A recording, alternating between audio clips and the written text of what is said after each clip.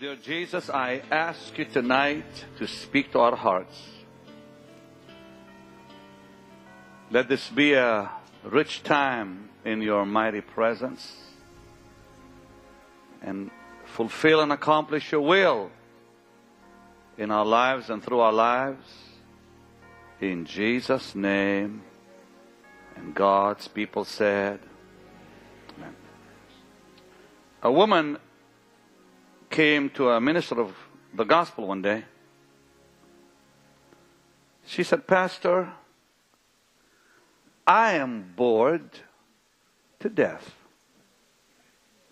She said, I have been coming to this church a long time.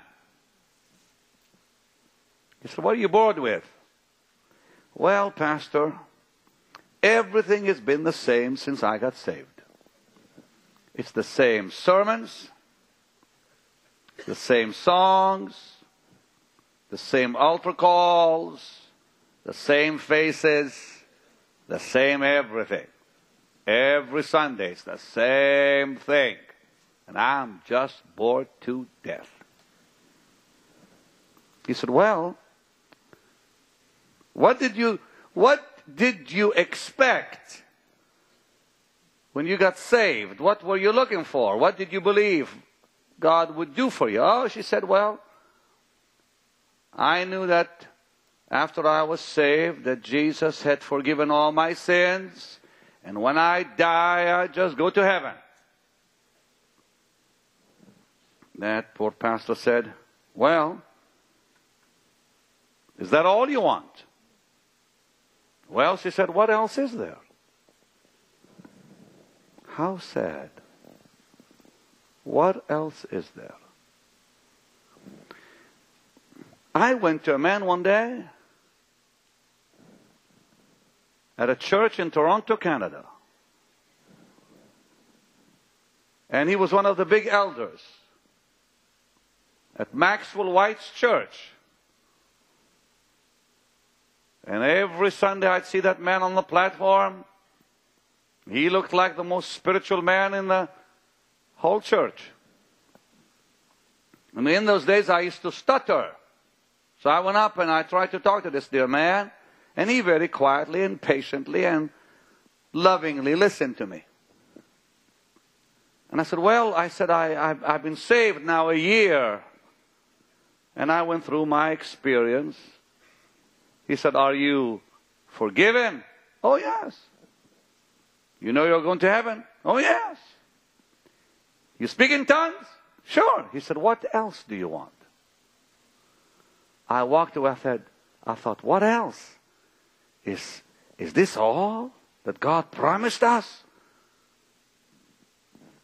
My brother, my sister, I'm here to tell you.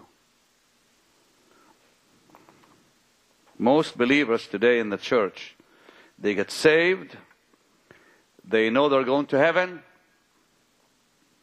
but between salvation and between heaven, they're living in a vacuum and they're bored. There's a whole lot more to this Christian life than just getting saved and going to heaven. It's time you be freed from boredom. Because the faith we have in Christ Jesus is just the beginning of the fullness of the Spirit. Salvation is just the beginning. Salvation is the doorway to a brand new life. I was so disappointed when that man said, What else do you want? I thought, Dear God, is this it? No, my brother, no, my sister. There's a lot more. And tonight, we are about to find out what's out there for you. Our God is bigger than your salvation, bigger than your faith, bigger than your experience, and bigger than heaven itself. What God has for you today is glorious. The poor man went on a ship to cross the Atlantic Stayed in his room the whole time. That's a long trip from the, from the European continent to New York. This is a true story. This is a fact. This man bought a ticket, left Europe to come to America. He stayed in his little room on that ship, eating crackers, little bits of food. He put himself in some bag. Now, when the ship landed, when they came to New York, the captain said, I never saw you at dinners. I never saw you at any lunch or breakfast. You're one of the passengers. I saw you come in. I see you go out, but I, I never saw you at any function. Oh, he said, I was the whole time in my cabin. Why didn't you come for breakfast? Why didn't you come for lunch? Why didn't you come for dinner? Oh, he said, I had no money to pay for the lunch and dinner and breakfast. Well, he said, You bought the ticket, didn't you? He said, Yes. Well, did you not know it was all included in the price? That poor man traveled across the Atlantic and starved himself, not knowing it's all in the ticket. Brother, it's all in the ticket. Salvation is a lot more than just getting saved. It's a lot more than getting healed. It's a lot more than just on your way to, to glory. There's a lot more to this Christian life. And the people are about to find out. Lift your hands and say, Lord, I want all of it. Say, Lord, I want all of it. Yeah. You see, the Bible clearly states, turn to Ephesians chapter 4. Oh, this is going to be good. My brother, my sister, salvation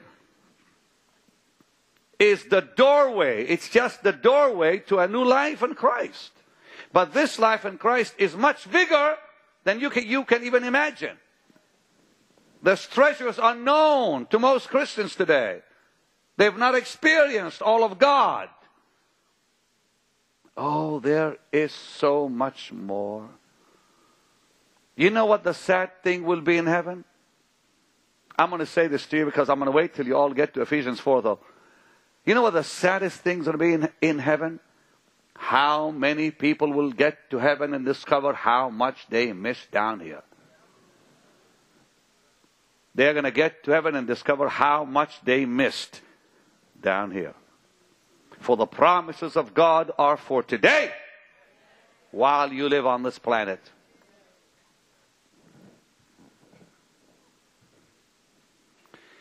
The new beginning, salvation, is simply the embrace of the Father, the kisses for the prodigal son, which must be followed by taking on our responsibilities as children. And this is where people miss it. They do not know what is my responsibility as a Christian on this earth. Salvation is when God embraces me. Salvation is when He kisses me as a prodigal son that came back home. That's all salvation is. But salvation is followed by my responsibility before God. Ephesians chapter 4 tells me something very blessed, very remarkable, and precious. I want you all to follow with me now. Ephesians chapter 4, um, I'm, I'm beginning to read at verse 11 right now with all of you. It says this He gave some apostles, some prophets, some evangelists, some teachers, and uh, some pastors, and some teachers. Why? For the perfecting of the saints, for the work of the ministry, for the edifying or the building up of the body of Christ, till we all come in the unity of, of the faith and of the knowledge, here it is, and of the knowledge of the Son of God unto a perfect man, unto the measure, listen now, unto the measure of the stature of the fullness of Christ. That we henceforth be no more children tossed to and fro and carried about with every wind of doctrine by the sleight of men and cunning craftiness, whereby they lie in wait to deceive. But speaking the truth in love, watch this, may grow up, grow up into him in all things, which is the head, even Christ, from whom the whole body fitly joined together and compacted by that which every joint supplies, according to the effectual working in the measure of every part, maketh increase of the body unto the edifying of itself in love. This is talking about growth and discipleship, where you and I grow into the full measure, the fullness of the image of Jesus Christ. This is awesome. This is glorious. Till we all come, verse 13, in the unity of the faith, of the knowledge, that knowledge of the Son of God, till we become that perfect man who has come into fullness, to the fullness of the stature of Christ Jesus. This is more than just me, me being forgiven and on my way to heaven. So what must I do? I must move forward to be transformed into the image of Christ. Most who go to churches today are bored. Why are they bored? Because they have no hope. They have no hope. Hope to get there. Where? Not to heaven. Before heaven, is the fullness of Christ on earth. Before heaven, I am to reach the fullness of Christ. It says to the fullness of the stature. I'm to reach a place where I will know His fullness. I remember Kathryn Kuhlman saying, Oh, to the crowd one day. She said, Oh, there is so much more. There is so much more. I've been saved now since 1972 with all I've experienced as a Christian, with the power of God that's flowed through my life and body, literally at times where I would feel I'm, I'm, I'm about to explode with power. I remember Mrs. Fred Roberts in Africa when she saw me under a mighty anointing one day in Durban. She said, How can you handle all that power flowing through you? How can you handle all that? God is my witness. I have felt more of God's anointing through my body than I thought it could handle. You know, there's been times I said, Lord, if any more power would flow through me, I'd die. There's been times, especially in some of the recent meetings, David Palmquist froze under the anointing only days ago. Henry froze. I mean, froze, froze, just like Maria Woodworth Etter froze. I felt such power in some of those meetings. Oh, dear God. I've seen with these eyes miracles no one has seen. Most have not, have not seen, anyways. I'll never forget that dear woman in Pittsburgh, Pennsylvania at a Kathryn Kuhlman meeting who was twisted. I mean, twisted like you twist rubber with arthritis. And that woman before my eyes untwisted in her seat and was healed. Dear God, I thought this is, is, is this happening? You see miracles till, till your mind can't accept it because you don't really believe you're looking at it that woman's body untwisting before us, all I could go, ah, ah, ah. that's all I, call, call, all I could say. Brother, you'd do the same if you were there. Sister, you'd probably do a little worse than, than I did. Because we carried that dear lady on the bus for two days almost. You think about looking at some lady twisted with arthritis for a whole day on the bus and the next day and she's sitting in that service and she starts to untwist. God untwisted every part of her body, sitting in that seat. You tell me if you want to go, oh, oh, oh. I did. Because it's not, our brains can't handle that stuff. I saw power. I mean power. Not only in Kathryn's meetings, in my own meetings. I'll never forget Guatemala when that building shook with an earthquake. The power of God hit the building I was in. The whole place trembled. The glory of God hit that place, and everybody went on the floor. Hit the power of I mean, the power of God hit the whole place. And one day God said, Benny, I'm the door. And all you've touched is the doorknob. All I've known, all I've experienced, all I've heard is only the doorknob. That's what Jesus said to me. I said, Dear God, I thought I was in the room already. the doorknob is so powerful. I've seen everything at the doorknob. I thought, is this it? Oh my God. No, there's more than that. There's more than I have ever experienced. Lift your hands and say, I want all of it. Come on. The Bible talks about the fullness of the stature of Christ, the full man. Christ in you, the hope of glory. Now, that hope, that's not the same hope for the rapture. That's not the same hope for heaven. Everybody's got hope to get to heaven. When Paul talks about the hope of glory, it's a different thing altogether. Listen.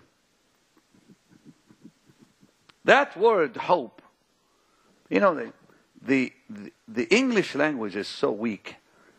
The English language doesn't have the bite, you know, it, it lacks the bite. So when you look up the word hope in English, well, I am hoping it'll be all right. That's not what it means. Oh, I'm hoping for, I'm hoping, people are always hoping for something. It doesn't happen. The Bible tells us the Lord has promised more than salvation, more than forgiveness, more than justification. Because when we got saved, God put a hope in us. God put the hope that Colossians chapter 1 talks about. Turn to it. Colossians 1, verse 21 through 27 talks about this hope. God has placed in your heart by the Spirit, by the Spirit, a hope. Colossians 1:21 talks about it when it says, "And you that were sometime alienated and enemies in your mind by wicked works, yet now hath he reconciled in the body of his flesh through death to present you holy and unblameable and unreprovable in his sight. If ye continue in the faith, grounded and settled, and be not moved away from the hope of the gospel. Now, what is he meaning? Keep listening. The hope of the gospel is not heaven. The hope of the gospel is not going to heaven. It's a different hope he talks about here, which you've heard, which was preached to every creature which is under heaven, whereof I, Paul, I made a minister who now rejoice in my sufferings for you and fill up that which is behind of the afflictions of Christ in my flesh for his body's sake, which is the church, whereof I am made a minister according to the dispensation of God, which is given to me for you to fulfill the word of God. What, what, what was that word God gave? Even the mystery which hath been hid from the ages and from generations, but now is made manifest to his saints. What is it? To whom God would make known what is the riches of the glory of this mystery among the Gentiles, which is Christ in you, the hope of glory. What is, but what is the hope of glory? That's the question we must answer tonight. What is the hope of glory? Christ is our hope of glory. But notice what Paul had been saying here. The hope of glory is for now. It's for here. God wants us to experience all of it today, not in heaven tomorrow. In this present body, not the new body. So he says it's a mystery. Verse 26 hid from the ages, from generation to generation, they haven't known it, but now, now, God has made manifest to his saints, not to the world. What is this? To whom God would make known what is the riches. Say riches, say riches, say riches, say it. Say riches of the glory. Say it. Riches of what? Riches of what? There are riches in the glory of God we've never known yet. We've been living on pennies. We've been only drinking the cup when the ocean remains. Dear God in heaven, wake up. A lady said to a man one day, she said, Oh, sorry, a son said to his father one day, Oh, dad, I've never seen the ocean. His father was taking a trip to the ocean. Oh, dad, I've never seen the ocean. What do you want, son? Bring me some of it. So the father goes to the coast, looks at this vast ocean, finds an empty cup and picks it up, puts some water in, takes it back home. There, son, here's the, here's the, here's the ocean. Is it really? All we have is the cup, buddy. Don't settle for the cup when the ocean is yours. That's what we've settled for. We've settled for the cup. The ocean belongs to us. Your God is bigger than your cup. You say, My cup runs over. No, no, no. Don't say that. People say, My cup runs over. But it's the ocean you're looking for, not the cup. Forget the cup. Oh, all I want is my cup to run over. Quit having a cup mentality. May the Lord deliver you from a cup mentality. The ocean is yours. Lift your hands, say, The ocean is mine. Say that. God is bigger than that ocean. The promises are bigger than that ocean. We're settling for the cup when the ocean is ours. That's why we've got to begin praying big prayers. For God's promises are big promises. Yeah, woo, is right. The glory of God is the outshining of God. Talks about the hope of glory in Colossians. To whom God would make known what is the riches of the glory of this mystery among the Gentiles. Christ in you, the hope of glory. The glory of God is that outshining of God. It's the luminous manifestation of his, of, of, of his person. God shines through. It's that blessed manifestation. Now, now the scripture says it's the glorious revelation of who God is. When we talk about the glory of God, we are talking about who is God. Who is He? Is that glorious revelation of who he is. Moses said, Lord, show me thy glory. Exodus 33, verse 18, he said, Show me thy glory. God comes in Exodus 34, 5 and reveals himself, reveals his attributes. The Lord, the Lord is merciful, long suffering. The Lord is gracious. The Lord is merciful. He, re- he reveals his heart himself. That's his glory. God's glory is the revelation of himself. The Bible tells us in Romans 3:23 we have fallen short of the glory of God. All have sinned and come short. What does it mean to come short? It means they, they, we as human beings are unable to reach that place. See, Paul talks about reaching the place where the glory of God is in us. God's glory is in us. Sin will not allow us to go there. Think about, if you think about the side of this platform here, is where God's glory shines through you, but over there is where sin is coming out of you. So here, sin comes out. Over there, the glory comes out. So you're, you're, you're struggling to move from sin to God's glory. Sin holds you back from reaching that position. Well, the glory of God is shining through you. That's what it means to come short. Not able to reach the place where God's glory is shining through me. Where that luminous glory is seen through me. Where God's person is revealed through me. God's glory is Him revealed through my life. Hallelujah. Jesus is the ultimate revelation of God's glory. He is the glory incarnate.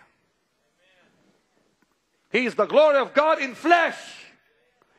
It says in John 1:14, we've seen his glory. Who? Christ is the glory of God. Christ is the glory in the flesh. Jesus is the glory of God in the flesh. The glory of God incarnate.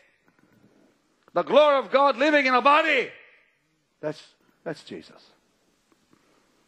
So John 1.14 says, And the Word was made flesh and dwelt among us, and we beheld His glory. God's glory. We saw the glory become a man. When Jesus walked those shores of Galilee, it was the glory of God walking through his body. Hallelujah. Somebody say hallelujah. Now, listen, listen. It is his will to give that to us. I pray that thou, Lord, he said, I pray that th- those that you've given me be with me where I am, that they may see my glory. And he said, I have given them that glory which I've known with you. This is John 17. Remember that? Turn to John 17. You ought to see it. You got to see it again now. Come on. John 17, verse 22. Jesus prayed, And the glory which thou gavest me, I have given them. Do you know we cannot have oneness in the church without God's glory in us? that they may be one, even as we are. What is God's glory? God's glory, listen, is the glorious revelation of Himself. Say that. Say it again. So when Moses, when Moses said in Exodus 33, 18, show me thy glory, God revealed himself in Exodus 34 5 and on. He came and said, The Lord is merciful. The Lord is long suffering. The Lord is gracious. God revealed himself. The glory of God is the revelation of himself. Jesus Christ is the glory of God in flesh. So if somebody says, Who is Jesus? you ought to say, Jesus is the glory of God in the flesh. He's the glory incarnate. And you can, re, uh, you can find that in the Gospel of John, chapter 1, verse 14. It says, And the Word was made flesh, and we beheld his glory. And the Bible talks about in Matthew 17 when Jesus was on the mount, it says, We saw his glory. The glory was manifest through him. His body changed, his face changed. It was that luminous, blessed light of glory that shone through him. When John the Apostle saw him on the Isle of Patmos, he said it was brighter than the sun to look on him. The glory of God. One of these days, that same light will shine through you. But you see, my brother, you see, my sister, the Bible promises that this will happen in the flesh today. And few and few have reached that place. So Jesus is the ultimate revelation of God's glory. Jesus is the glory incarnate. And amazingly, the glory of God and the love of God are one. God's glory and God's love are together. So Jesus is agape incarnate. Jesus is the glory of God incarnate. In Romans chapter 5, in Romans chapter 5, verse 2, it says, let me read verse 1 and on. Therefore, this is Romans 5, Romans 5, verse 1. Therefore, being justified by faith, we have peace with God through our Lord Jesus Christ, by whom, by Christ, we have access by faith into this grace, wherein we stand and rejoice in hope of the glory of God. We stand in hope of the glory. Watch what, it, what. Watch, watch, watch, watch. The hope of glory. Say it. Say, say that again. Now watch verse 5. And hope maketh not ashamed. What hope? The hope of glory. Many people split verse 2 and 5. Ah, they're together. Hello? When you read verse 5, it says, And hope maketh not, not ashamed. What hope is he talking about? The hope of glory. The hope of glory maketh not ashamed. Why? Because the love of God, the agape of God, is shed abroad in our hearts by the Holy Spirit who is given to us. We read Romans 5 5, and hope maketh not ashamed. Most Christians have no clue what this hope is. What hope? The hope he talked about in verse 2. It says, rejoice in hope of the glory of God. Therefore, the hope of the glory is the hope of the Christian life. The hope of glory is the hope of the gospel we saw earlier. The hope of the gospel is not the rapture. The hope of the gospel is not heaven. The hope of the gospel is the glory of God through our body. To shine now in this present life. If you got just this, it's worth you coming. Say, the hope of glory is what I'm after. Say it again. Say it again. Colossians 1:27. Christ in you, the hope of glory. Say it, Christ in me. The hope of But stop. People think, well, that that that means uh, future. That means have ah, it means now. That's what I'm trying to get through to you. The hope of glory doesn't mean eternity. The hope of glory means now. It's the hope of the gospel now. We live in hope of the glory of God now, for now, before we're dead. We get it all now. The fullness of the stature of Christ now. I'm going to beat this in you till, till you get it. Say, got it. That's good. Now, the Bible tells me, and hope, the hope of glory, maketh not ashamed. For the love of God, because the love of God, you see how the love of God and glory are, are, are connected. You cannot know God's love till you know God's glory. Oh, you missed it again. Look at me, all of you, look. Here. When God begins to, to manifest himself through you, that's his glory.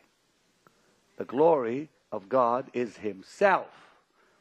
That glory is a person. That glory is a person. Say that. Say so the glory of God is a what? What's his name? You got it. He's the glory of God in the flesh. We beheld his glory. We saw his glory. Jesus is the glory of God in the flesh. So Jesus now lives in you. Therefore, the glory of God is in you. Now, when that glory begins to shine through you, with that glory is love. He is love. Love is a person. Glory is a person. When he said, Show me your glory, God says, The Lord is merciful. The Lord is gracious. So, mercy is a person. Uh, let, me, let me explain this to you like this. Let's suppose, now there's no tree here, but let's suppose there's, there's a tree. Are you all guys listening here? Let's say I plant a tree. Yeah. The tree has branches. This branch is grace. This branch is mercy. This branch is love. This branch is life. It's one tree. That's just a very cheap example. Jesus is the glory of God. That's his real essence. That's his real person. When Moses said, Show me the glory, he came and said, Here I am. John the Apostle said, We saw his glory. The Word was made flesh, we beheld his glory. So the, the glory is a, is a man. They called him Jesus. Now, this Jesus is glory, but glory manifests itself as love, mercy, grace, truth, power. Are you getting it? So when the glory of God is in you, you will love. Because He is the glory of God incarnate. Jesus doesn't have the glory, He is the glory. The glory is a person. Say, a person. So now we have to change our mentality. The, God's glory is not something, it's not some light, it's not some cloud, it's not some mist, it's a, it's a living being. We saw the glory. We touched the glory. We handled the glory. We heard the glory. It's Jesus. When Jesus lives in fullness in you, you will love as he loves. Because the glory of God is now shining through you. That's the hope of the Christian life. That's what it means. Christ in you, the hope of glory. Isn't that powerful? We begin living, we begin living the glory of God.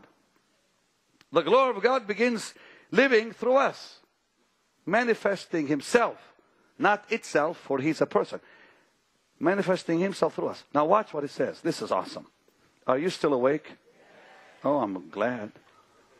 Now, Philippians chapter 2. Philippians chapter 2, verse 12. Verse 12 says something amazing. God puts this desire, this hope in you. The hope God puts it inside of you. The hope of glory. That's, the, that's what God deposits at salvation. This is the embrace of heaven, the kiss of God. Hallelujah. I said hallelujah. So Philippians 2 verse 12 says this. This is awesome. Wherefore, my beloved, as you have also obeyed, not as in my presence only, but now much more in my absence. Work out your own salvation with fear and trembling. Now, wait a minute for a second here. I see something most Christians probably miss. Look what it says right before that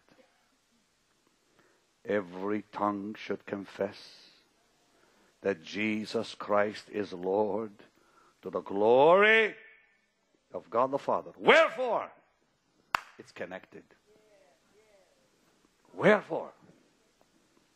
The ultimate purpose of God is the glory of God in us. Are you getting this?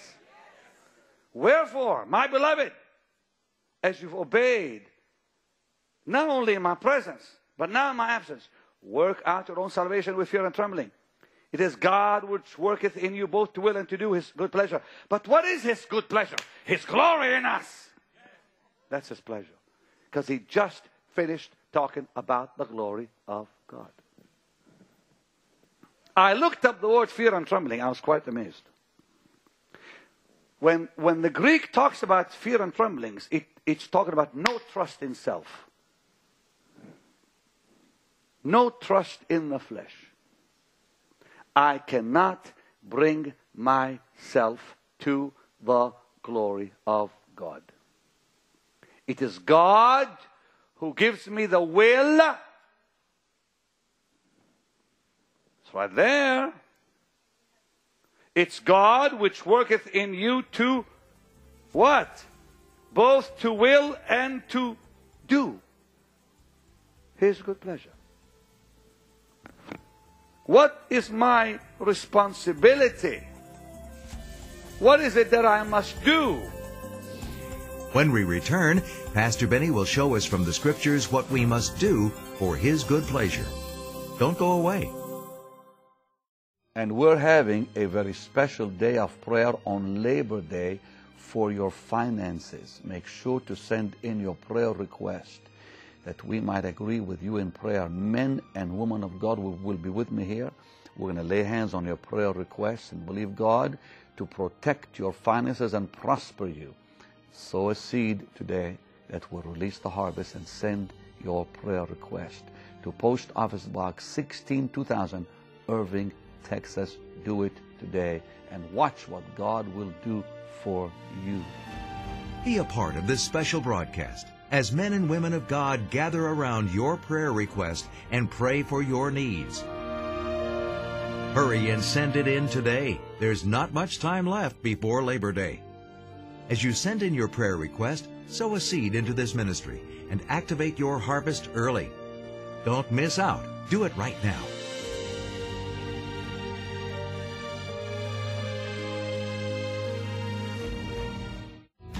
Study to show thyself approved unto God, a workman that doesn't need to be ashamed.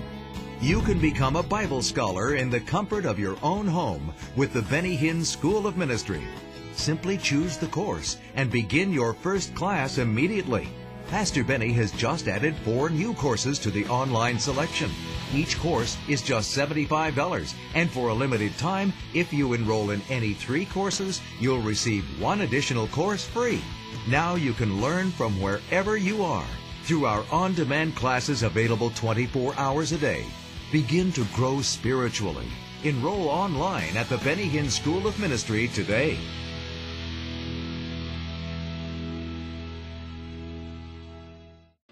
Now let's listen as Pastor Benny concludes this study on the hope of glory. Look what it says. This is what we've got to do. Now, verse 17 says, 2 Corinthians 3:17. Now the Lord is that Spirit. And where the Spirit of the Lord is, there is liberty.